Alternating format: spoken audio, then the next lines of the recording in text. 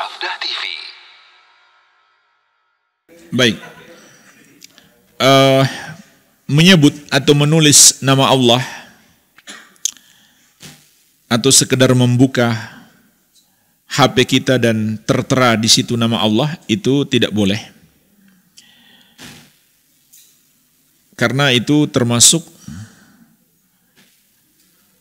perendahan terhadap nama Allah dari dua sisi bahkan. Sisi yang pertama di dalam tempat kotor. Makanya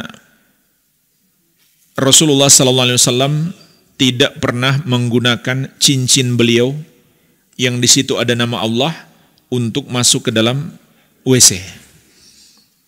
Demi pemuliaan kepada nama Allah Subhanahu wa taala. Sampai-sampai disebutkan juga dalam buku-buku fikih kalau kita mau wudhu di WC boleh saja tapi kita tidak menyebut doa dengan lisan tapi dalam hati. Demi untuk memuliakan nama Allah.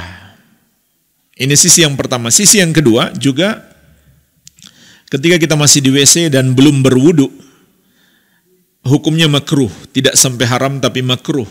Kita menyebut nama Allah atau menuliskan nama Allah Subhanahu wa taala. Nabi sallallahu alaihi wasallam mengatakan,